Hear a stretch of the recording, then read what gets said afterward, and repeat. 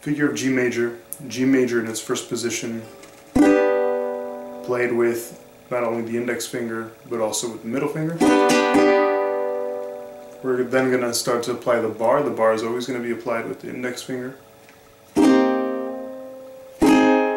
So then we're going to make use of the middle finger to play the third string and the ring finger to play the first string. Right over here we can play C major, D major. All of these can be found along the length of the cuatro as we have seen in other figures as well.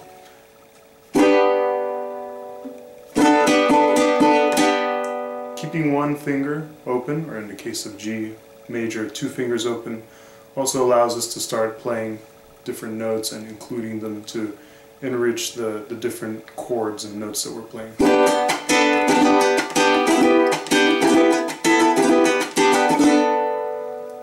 Similarly, if we're applying the bar, we're always going to have a couple of fingers open so that we can play around with them. In this case, this is D major.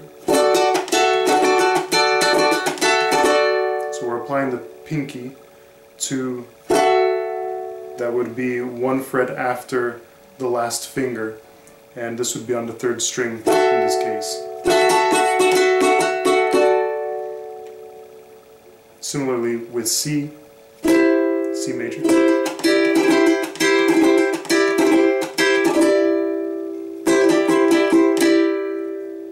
Very nice effect, especially if we're trying to enrich the piece that we're playing.